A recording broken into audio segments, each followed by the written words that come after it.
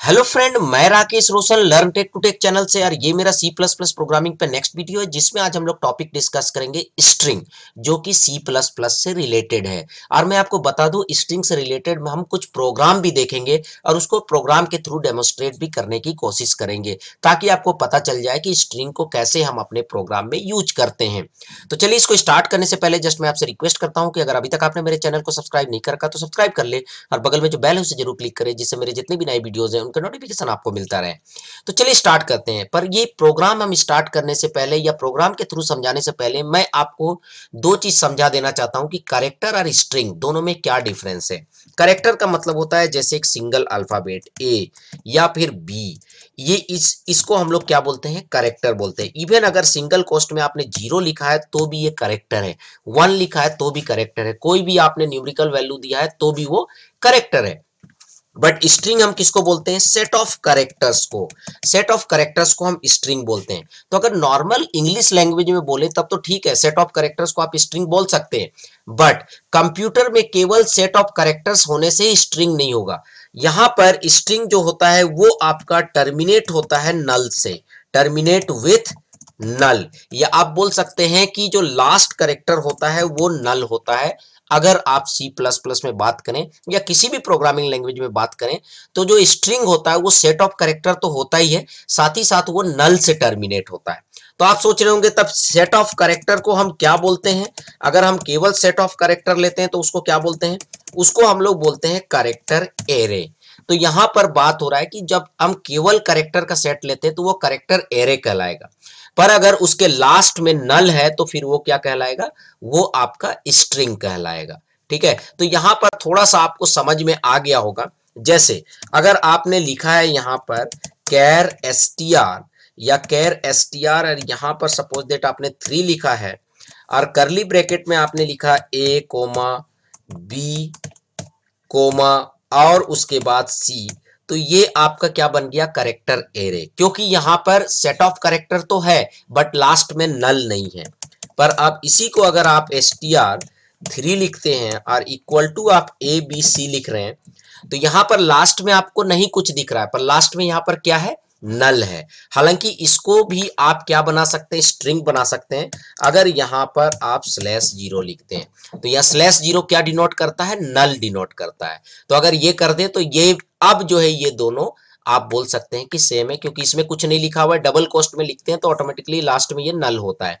तो यहाँ पर भी आपने नल अलग से स्पेसिफाई कर दिया। तो ये अब स्ट्रिंग बन गया। करेक्टर एरे तो है ही, साथ में स्ट्रिंग भी है। और ये भी आपका स्ट्रिंग है। जैसे आप डबल कोस्ट में लिखते हैं तो वो स्ट्रिंग बन जाता है, ठीक है? तो यहाँ पर आपको करेक्टर फिर करेक्टर एरे और स्ट्रिंग आपको क्लियर हो गया होगा तो अब चलिए हम लोग प्रोग्राम के थ्रू इसको समझ चलिए। हम लोग अब जो है अपने एडिटर पे आ गए हैं कोड ब्लॉक पे। यहाँ पर हम सी प्लस प्लस के कुछ कोड लिखेंगे, जो कि स्ट्रिंग से रिलेटेड होगा कि स्ट्रिंग हम लोग कैसे देखेंगे, कैसे हम लोग स्ट्रिंग को इनिशलाइज करेंगे, कैसे डिक्लेयर करेंगे, वो सारे चीज़ यहाँ पर देखेंगे।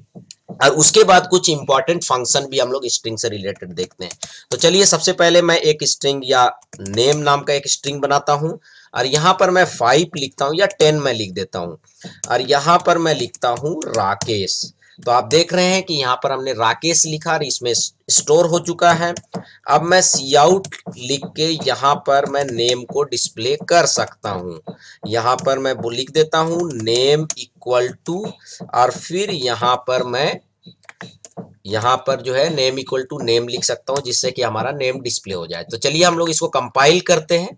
तो देखिए, हमने कंपाइल हो चुका है, अब हम इसे रन करते हैं तो यहाँ पर आप देख रहे हैं नेम इक्वल टू राकेश आ गया। तो ये क्या हो गया? आपका स्ट्रिंग हो गया। तो यहाँ पर स्ट्रिंग कोई खास अलग चीज़ नहीं है। यहाँ पर बस ये है कि आप जब यहाँ पर केवल सिंगल वेरिएबल लेते हैं, जैसे आपने यहाँ पर लिखा कैर और सी एच केवल लेते हैं यहाँ पर अगर कोई साइज़ नहीं डालते हैं तो फिर केवल और केवल आप एक करेक्टर ही ले सकते हैं, क्योंकि ये फिर आपका करेक्टर हो गया। तो इसका मतलब करेक्टर स्ट्रिंग बनाने के लिए या आपको स्ट्रिंग बनाने के लिए आपको एरे का यूज़ करना पड़ेगा। तो यहाँ टेन का मतलब ये हो गया कि यहाँ पर हम टेन करेक्टर तक का स्ट्रिंग हम ले सकते हैं। यहाँ पर जैसे राकेश में सिक्स करेक्टर है तो यहाँ से हम और चार पाँच करेक्टर हम यहाँ पर चार करेक्टर और हम ऐड कर सकते हैं। तो इस तरह इसको हम लोग यहाँ पर स्ट्रिंग बोलते हैं। एरे का कंसेप्ट हालाँकि आपको क्लियर हो गया होगा, इससे जस्ट पहले वाला जो वीडियो है वो मैंने एरे पे बनाया था तो आप देख लीजिएगा अगर एरे आपको क्लियर नहीं है, क्योंकि स्ट्रिंग पढ़ने के लिए सबसे पहले आपको एरे पढ़ना पड़ेगा। तो यहाँ पर देखा आपने कैसे मैंने स्ट्रिंग डिक्लेयर किया, यहाँ से यहाँ तक स्ट्रिंग डिक्लेरेशन है, फिर मैंने उसको इनिशलाइज किया, और फिर करेक्टर भी दिखाया, और फिर हम उसको डिस्प्ले भी कर रहे हैं। अब हम क्या करते हैं स्ट्रिंग को इनपुट लेने की कोशिश करते हैं। यहाँ पर तो हमने इनिशलाइज किया था, अब हम इनिशलाइज नहीं करेंगे, हम इनपुट लेंगे। हम यहाँ लिखते हैं cin double greater than name यहाँ पर हम क्या करते हैं? इनपुट लेते हैं। तो चलिए अब हम लोग इसको रन करते हैं। तो सीन के थ्रू हम क्या कर रहे हैं? नेम को इनपुट ले रहे हैं और सी आउट के थ्रू हम क्या कर रहे हैं? दिखा रहे हैं। तो हम इसको रन करते हैं। तो यहाँ पर आप देख रहे हैं, मैंने लिखा राकेश। तो यहाँ पर नेम इक्वल टू राकेश आया। अब मैं इसको फिर रन करूँगा। अब आपको थोड़ा सा यहाँ पर ध्यान से आप देखिएगा। अब मैंने लिखा राकेश डैश रोशन। पर यहाँ आउटपुट क्या आया? केवल राकेश आया। डैश के बाद या स्पेस के बाद जो आपका डेटा है, उसको नहीं लिया। रोशन को नहीं लिया। चलिए, हो सकता है कि आपने साइज़ टेन दिया, राकेश रोशन का साइज़ ज़्यादा है तो मैं इसको ट्वेंटी कर देता हूँ। और ट्वेंटी करने के बाद मैं इसे फिर रन करता हूँ और फिर देखता हूँ कि ये फिर भी ले रहा है कि नहीं। फिर सॉरी राकेश स्पेस रोशन लिखा। तो आप देख रहे हैं, तब भी राकेश आ रहा है। इसका मतलब क्या है कि जो सी इन है, वो स्पेस को सपोर्ट नहीं करता है। मतलब अगर आप सीन के थ्रू इनपुट ले रहे हैं स्ट्रिंग को तो अगर आपके स्ट्रिंग में स्पेस है तो सीन क्या करेगा? स्पेस के बाद वाला जो जो भी आपने इनपुट किया है, वो डिस्कार्ड कर देगा। जैसे आप देख रहे हैं, यहाँ पर राकेश को तो ले रहा है, पर रोशन को डिस्कार्ड कर दे रहा है। तो उसके लिए आप क्या करेंगे? उसके लिए हमारे पास फ़ंक्शन होता है गेट एस तो यहाँ पर अगर आप चाहते हैं कि आप स्पेस के साथ इनपुट लेना चाहते हैं तो यहाँ पर आपको लिखना पड़ेगा गेट एस पर गेट एस लिखने के लिए फिर आपको कुछ हेडर फ़ाइल भी इंक्लूड करना पड़ेगा, जिसका नाम है सी स्टूडियो तो इसका मतलब ये है कि आपको सी स्टूडियो जो है, इसको आपको जो है इंक्लूड करना पड़ेगा अगर आप गेटेस यूज़ कर रहे हैं। अब देखिए हम इसको बिल्ड करते हैं और फिर रन करते हैं। अब मैं यहाँ पर लिखता हूँ राकेश स्पेस रोशन। तो यहाँ पर आप देख रहे हैं name equal to Rakesh space Roshan आ रहा है। ठीक है? तो आपने समझ लिए कि अगर आप सीन यूज़ कर रहे हैं तो स्पेस के बाद का जो जो भी आप इनपुट करेंगे, उसको वो कंसीडर नहीं करेगा। अगर आप चाहते हैं कि पूरा का पूरा सेंटेंस या पूरा का पूरा नाम इनपुट लेना तो फिर आपको यूज़ करना पड़ेगा गेट एस ठीक है? तो ये आपने देखा कि स्ट्रिंग को आप किस तरीके से यूज़ कर सकते हैं। और स्ट्रिंग कैसे आप इनपुट लेंगे, कैसे आउटपुट दिखाएँगे, ये सारा चीज़ जो है आपको दिखाने का मैंने कोशिश किया है। अब चलिए हम लोग क्या है कि अब हम लोग कुछ ऐसे फ़ंक्शंस देखते हैं जो कि स्ट्रिंग से रिलेटेड है। तो सबसे पहला जो है, सबसे पहला और सबसे इंपॉर्टेंट फ़ंक्शन देखते हैं एस टी आर लेन मतलब अगर आपको किसी स्ट्रिंग का लेंथ निकालना है तो आप क्या करेंगे? तो उसके लिए सबसे पहले तो आप हैश इंक्लूड सी स्ट्रिंग कर लीजिए, क्योंकि स्ट्रिंग से रिलेटेड जो भी आपको फ़ंक्शन यूज़ करना है, उसके लिए आपको सी स्ट्रिंग हेडर फ़ाइल को इंक्लूड करना पड़ेगा। अब देखिए मैं कैसे लेंथ निकालूँगा? अगर किसी आपको स्ट्रिंग का लेंथ निकालना है तो मैं यहाँ पर इंडल लिख देता हूँ ताकि हमारा आउटपुट नेक्स्ट लाइन में आएगा। और यहाँ पर मैं लेन इक्वल टू और double less than S T R len और उसके अंदर वेरिएबल का नाम लिख देता हूँ। तो ये क्या करेगा? नेम में आपके जितने भी करेक्टर हैं, वो आपको उसका लेंथ दिखाएगा। तो मैं इसको यहाँ पर रन करता हूँ। तो देख रहे हैं कंपाइल तो हो ही चुका है तो मैं यहाँ पर लिखता हूँ राकेश रोशन तो यहाँ पर देख रहे हैं राकेश रोशन आ रहा है थर्टीन आ रहा है। तो यहाँ पर थर्टीन जो लेंथ आएगा, वो एक्चुअल वही लेंथ आएगा जो आपने इनपुट किया है, ठीक है? यहाँ पर ये लेंथ नहीं आएगा कि आपने नेम को 20 साइज़ दिया तो 20 आ जाएगा, नहीं। जितना आप इनपुट करेंगे, वही आपका एस लेन में आएगा, ठीक है?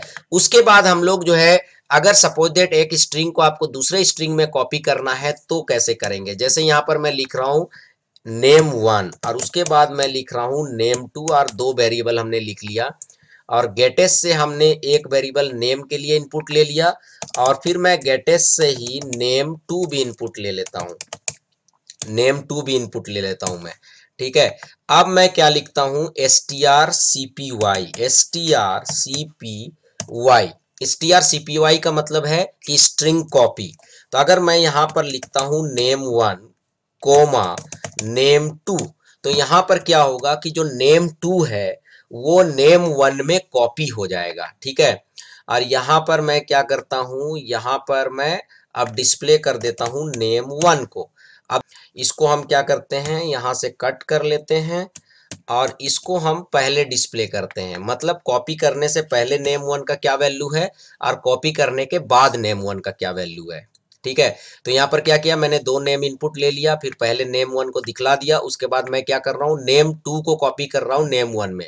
इसका मतलब नेम वन आप डिस्प्ले कर रहे हैं तो नेम टू का जो नेम है, वो डिस्प्ले होना चाहिए, जो भी हम इनपुट देंगे। तो ऑब्वियसली यहाँ पर हम सेमी क्लोन छोड़ दिए हैं तो कोई दिक्कत नहीं है। फिर मैं इसे रन करता हूँ, बिल्कुल रन हो चुका, कोई भी एरर नहीं है। अब मैं इसे करता हूँ तो मैं लिखा पहले राकेश, और फिर मैंने लिखा रोशन। रोशन तो आप देख रहे हैं, पहले नेम इक्वल टू राकेश आया। नेम वन को डिस्प्ले कर रहे हैं। तो यहाँ पर आउटपुट को एनालाइज कीजिएगा आप। तो यहाँ पर आप देखिएगा कि फ़र्स्ट टाइम जो यहाँ पर नेम हम डिस्प्ले कर रहे हैं, first time name one display कर रहे हैं तो हमारा क्या आउटपुट आ रहा है? राकेश। और जब हमने नेम टू को नेम वन में कॉपी कर दिया तो क्या हो गया? रोशन जो है वो नेम वन में कॉपी हो गया। तो जब हम नेम वन को डिस्प्ले कर रहे हैं तो यहाँ पर क्या आ रहा है? रोशन आ रहा है। जबकि यहाँ पर क्या आ रहा है हमारा? राकेश। और यहाँ पर क्या आ रहा है हमारा? रोशन। तो यहाँ पर क्या हो चुका है? अब नेम वन जो है नेम टू जो है, वो नेम वन में कॉपी हो चुका है। तो इस तरह से आप क्या कर सकते हैं? S T R C P Y use कर सकते हैं। अब उसके बाद एक आता है S T R cat S T R cat में क्या होता है? ये कॉन्केटिनेट हो जाता है। मतलब यहाँ पर क्या होगा? नेम वन में जो है, वो तो रहेगा ही। साथ ही नेम टू का जो वैल्यू होगा, वो नेम वन में कॉन्केटिनेट हो जाएगा। कॉन्केटिनेट होने का मतलब क्या है? जुड़ जाएगा। तो जब हम पहली, पहले नेम वन को इसको कॉन्केटिनेट से पहले नेम वन डिस्प्ले करेंगे तो वो केवल राकेश दिखाएगा, जबकि कॉन्केटिनेशन के बाद नेम वन डिस्प्ले करेंगे तो ये राकेश, रोशन दोनों को दिखाएगा। तो चलिए देखते हैं। तो चलिए अब हम इसे कंपाइल करते हैं। तो कंपाइल हो चुका है। अब हम इसे रन करते हैं। तो देखिए, मैंने राकेश लिखा, फिर मैंने रोशन लिखा। तो क्या है? देखिए, यहाँ पर जो है कॉन्केटिनेट से पहले केवल राकेश आया, जबकि कॉन्केटिनेट के बाद राकेश रोशन दोनों आया। तो दोनों क्या हो गया? कॉन्केटिनेट हो गया। मतलब अब नेम वन में जो है, वो नेम टू का जो वैल्यू था, वो जो है उसके साथ जुड़ गया। तो इस तरीके से जो है, आप जो है एस टी आर कैट को यूज़ कर सकते हैं। तो एस टी आर कैट जो है, वो कॉन्केटिनेशन के लिए आपका यूज़ होता है। और और भी बहुत सारे जो है फ़ंक्शंस है, उसको नेक्स्ट वीडियो में देखेंगे, क्योंकि ये काफ़ी लंबा हो रहा है। जैसे S T R C M P है, ये भी हम आगे के वीडियो में आपको बताएँगे। उसके बाद जैसे S T R C H R है, ठीक है, जिसमें किसी करेक्टर को अगर आप उसके अक्रेंस को ढूंढना चाहते हैं, उसके बाद S T R S T R है जैसे किसी स्ट्रिंग का अक्रेंस को दूसरे स्ट्रिंग में ढूंढना है तो ऐसे करके बहुत सारे फ़ंक्शन है जो कि स्ट्रिंग से रिलेटेड है। ये जो है, मैंने दो तीन फ़ंक्शन आपको इसमें इंट्रोड्यूस किया, और आई होप कि आपको जो स्ट्रिंग का कंसेप्ट स्ट्रिंग कैसे डिक्लेयर करते हैं स्ट्रिंग को कैसे इनपुट लेते हैं, कैसे डिस्प्ले करते हैं, कैसे कुछ स्ट्रिंग फ़ंक्शंस को यूज़ करते हैं, जैसे स्ट्रिंग को कॉपी करना है कॉन्केटिनेट करना है लेंथ निकालना है तो ये आपको क्लियर हो गया होगा। तो चलिए फ्रेंड आई होप कि आपको वीडियो अच्छा लगा अच्छा लगा तो लाइक करें शेयर करें कमेंट करें, और अगर अभी तक आपने मेरे चैनल को सब्सक्राइब नहीं कर रखा तो सब्सक्राइब कर ले यार। बगल में जो बेल उसे ज़रूर क्लिक करें, जिससे मेरे जितने भी नए वीडियोज़ हैं, उनका नोटिफिकेशन आपको मिलता रहे। Thank you and goodbye